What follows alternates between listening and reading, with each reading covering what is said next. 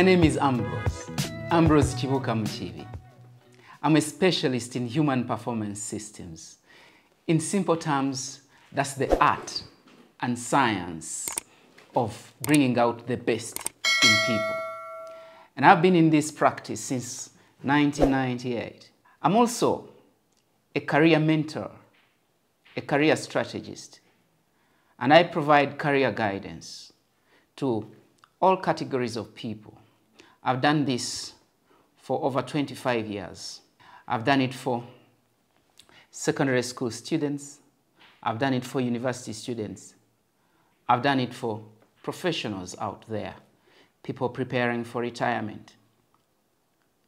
In my previous career years, I worked as a classroom teacher in university and also as a classroom teacher for one year in a community secondary school that I co-founded in 1997, and that's Kamda Community Secondary School in Mpatta Sub-County, in Mukono District. Now, over the years, I've had the privilege to interact with all sorts of educators. I've been privileged again to mentor people who teach at different levels. And the purpose of this video is to share with you insights that I've learned over the years. In today's video, we specifically want to look at this whole notion of university education. And why is it important? In this book, which I wrote, first edition 2003, second edition 2008, and third edition 2018, which is this current one. The title is After University, What Next? But actually, I will say, I was rather shy to write the real title that was at the center of my heart and in the middle of my mind. And since we are having this conversation, I'll tell you what the actual title behind this one is. Although this one says, after university, what next? What I hid behind is, you went to school, so what? Yes, you heard me right. You went to school, so what? And today, because we want to focus on that very challenging subject of is it really worth it to go to university? Yeah, on the surface, it's obvious. Everybody who wants to be successful should go to university. At least that's what the dominant paradigm, the thinking in society is. In fact, many parents will say to themselves, look, if I do not succeed at getting my child into university, I have failed as a parent. And many young people also will feel, well, if I do not perform well enough to qualify for university, then maybe among my siblings, I'm the biggest disappointment. Or even my peers, how will they look at me? I could be the only one who hasn't gone to university.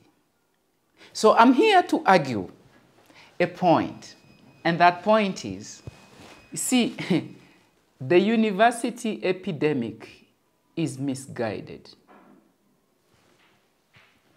And that is the point I belabor in this third edition. Those of you who have uh, acquired the third edition of After University What Next, on page 93, that's where I argue. Uh, this whole section between page 54, uh, from page 54 up to page uh, 106, I have a chapter there that is understanding 21st century careers. Now, in that chapter, I discuss 10 insights that for me I have distilled over the years and characterize the key attributes of 21st century careers. And now, the ninth one, which is on page 93, is the university epidemic is misguided. So, you may be asking yourself, what is it that Ambrose is calling a university epidemic? And isn't that being too radical? Why do you call it an epidemic in the first place? Let me explain. You see, like I did say, every other family feels and thinks and is convinced that if they don't succeed at sending their children to university, they are a failure. And every young person wants to go to university. Now, I'm using a generalization because majority of. And this generalization is actually corroborated by what is happening on the ground. Now, check this out. We have about 55 universities in Uganda. Let me use the Uganda case. 55 universities. And we are still counting. The number is growing. If you compare this with the other tertiary institutions, which are outstanding in nature, to that level of the university, they are far fewer than that. Okay, so why is it that? And, and oh, before I forget this, all these universities are academic universities. Now, if you want to understand why that is so important for you to pay attention to, I want you to look at the numbers of young people coming out of university, very well educated, but they cannot find employment. You'll ask the question, why? Well, that's a subject we can delve deeper into, and we will delve deeper into in, in the subsequent videos. But today I want to limit myself to this uni university epidemic thing. How did we come to this mix-up, which is making us end with, I'm sure there is a young person there who graduated from university, and you have spent a couple of months, a couple of years and you have never found a meaningful job and you are still on the streets. Or you did find a job, but you feel severely underemployed. This video is for you. Or you are there and you are asking yourself, this investment that I made, could be your parents who paid, could be government that paid, could be yourself. You hustled to take you through university. And now you're looking at your papers and you flash back and you look at the energies you put in, the time you spent. And you think about the opportunity cost, the alternatives you forewent, you had to forego in order for you to pursue this degree. And you're asking yourself the question, was it worth it? Yes, that's the question I'm here to confront. And I want to help you understand where you could have gone wrong, where the system could have gone wrong, and how you can correct that at a personal level. Now, get me right. I am not trying to diss university education. I am a product of university education. Not only that, I have taught in university. Not only that, I do train people who teach in university that's not the end of it. I actually do promote universities. I sit in university boardrooms. And um, I strongly believe that we need university education if our society is to develop. I believe that uh, no society or no country can actually produce serious uh, innovators and inventors and entrepreneurs at a sustainable scale if you do not have a critical mass of university graduates. So I just wanted to allay that. But what I call the epidemic is this misconception which has turned out to be a widespread uh, deception, self-deception, that everyone must have a university degree in order to be successful at whatever endeavor they were created for or they are here to fulfill. That is the misguidance that I'm talking about.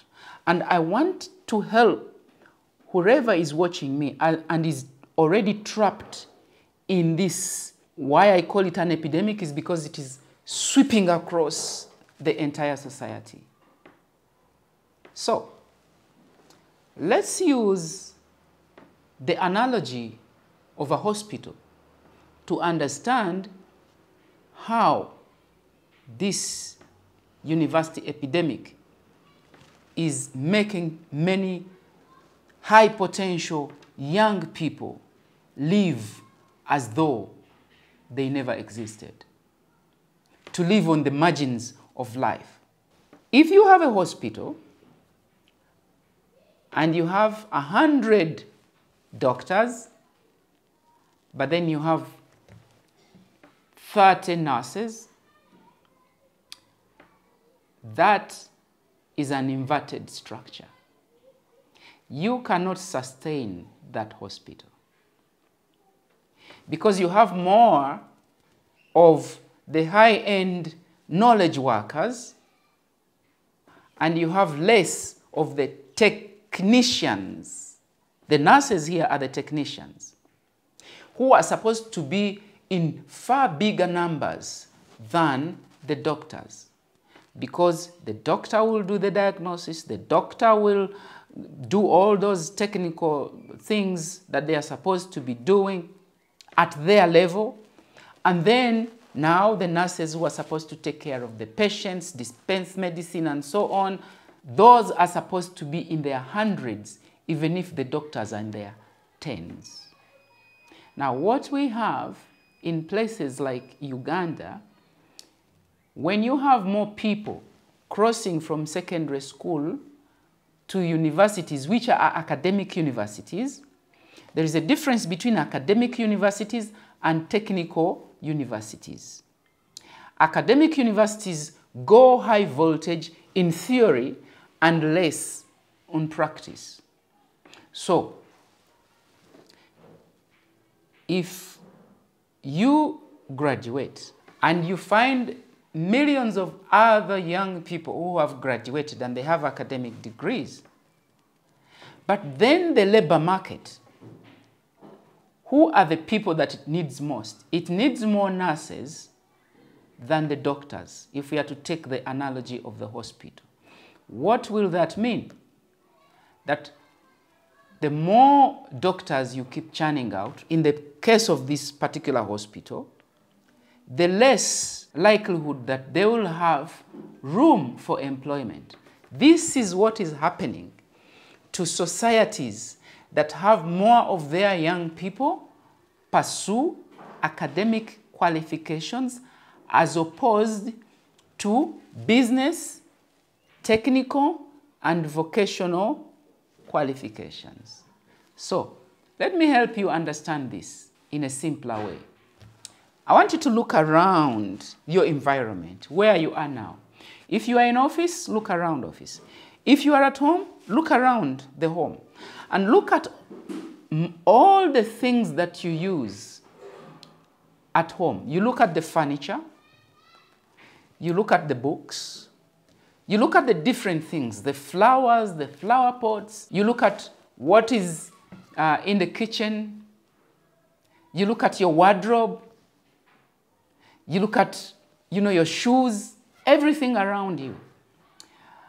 And I will tell you that for each of those things, which are the items that we use in real life, which are the items that you find in the marketplace, therefore, which are the items that are the subject of economic or business transactions.